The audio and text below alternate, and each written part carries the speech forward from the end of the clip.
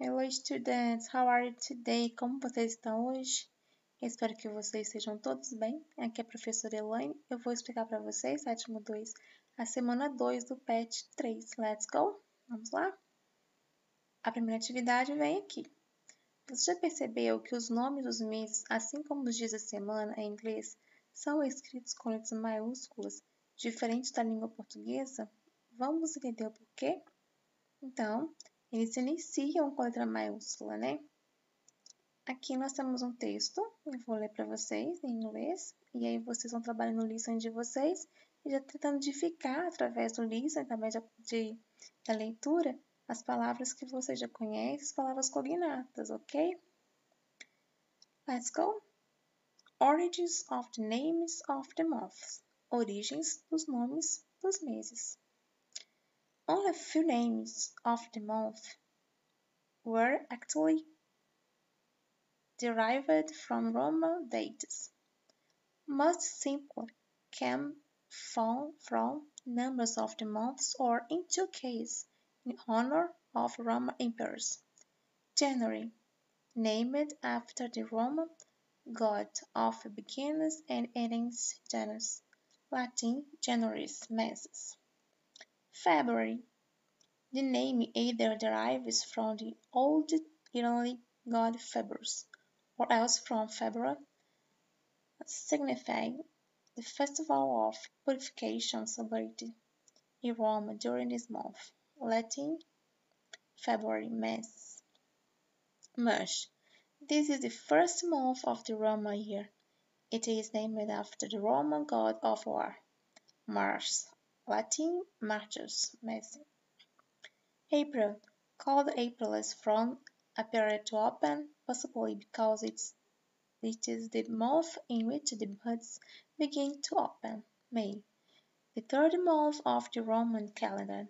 The name probably comes from Maesta, the Roman goddess of honor and reverence, Latin Maius Mensis. June, the fourth month was named in honor of June.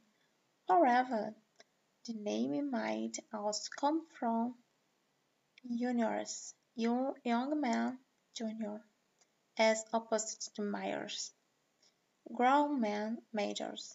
From May, the two months begin dedicated to young and old men, Latin, Janus, Mass.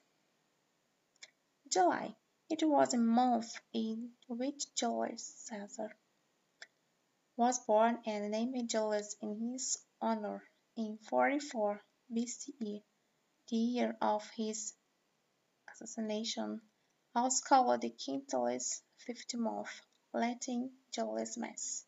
August. Originally this month was called Sextilis from 6 to 6, but the name was later changed in honor for the first of the Roman emperors, Augustus, because several fortunate events of his life occurred during this month. September, the name comes from Septem, 7. October, the name comes from Oct 8. November, the name comes from Novem, Novem 9. December, the name comes from Destin, 10. Então, aqui é o texto, tá lido. Vamos às atividades. One. Marque no texto as palavras que, pala que palavras ou expressões que você consegue reconhecer ou que você já conhece. 2. De acordo com o texto, os nomes dos meses foram dados baseados somente nas atividades nas divindades? Justifique sua resposta. 3. O que os nomes dos meses outubro, novembro e dezembro têm em comum? 4. Qual o primeiro mês do calendário romano? 5. Que aconteceu em julho para justificar o nome da escolha deste mês? E 6. Por que agosto originalmente era outro e depois foi modificado? 7. Is your name dedicated to someone in your family or someone famous?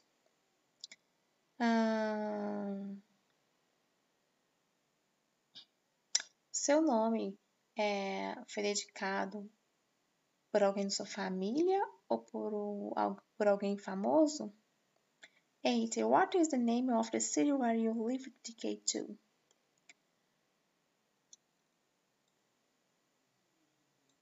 Então, É, o nome da cidade que você mora é dedicado a quê? Foi dedicado a quê? Então, Carangola foi dedicado a quem? Tá? Por que tem esse nome? Seria essa a ideia da pergunta. Tá? What is the name of the city where, where you live dedicated to?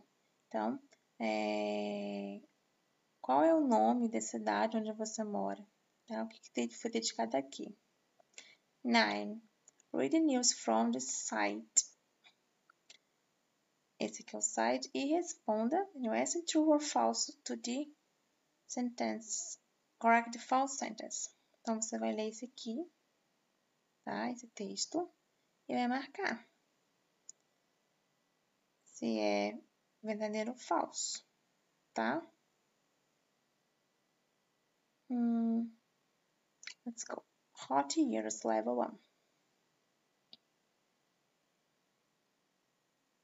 Scientists around the world check the Earth's temperature. They check the temperature every day.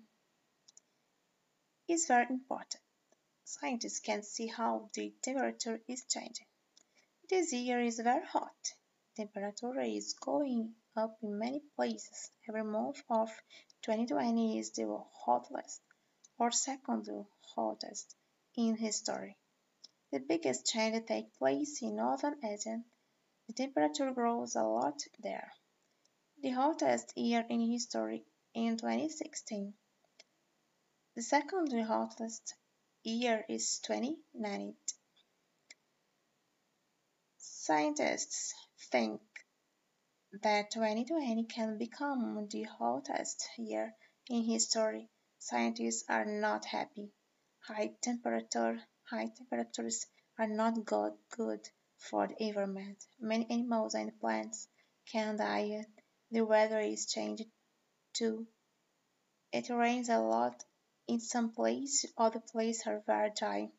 Difficult words, temperature, how hot or cold something is, take place to happen, and natural world. Letra A. O texto fala sobre um lugar quente? Então, true ou falso? Vou marcar lá. Letra B. O texto afirma que este ano é o mais quente da história. Letra C. Os cientistas estão preocupados pelo problema do aquecimento global. Letra D. As temperaturas são medidas semanalmente para se verificar as mudanças que estão ocorrendo na natureza e no mundo. Letra E. As mudanças na temperatura estão sendo verificadas principalmente na África. Então, eles vão analisar o texto e vão marcar true ou false. Ok? Então, para essa semana é isso. Fiquem bem. Ah, depois que vocês marcarem verdadeiro ou falso, vocês vão colocar a, a frase correta, né? O que está errado? Se for falso, vocês vão corrigir a sentença, ok? Então é isso. Fechamos. Bye bye, see you later.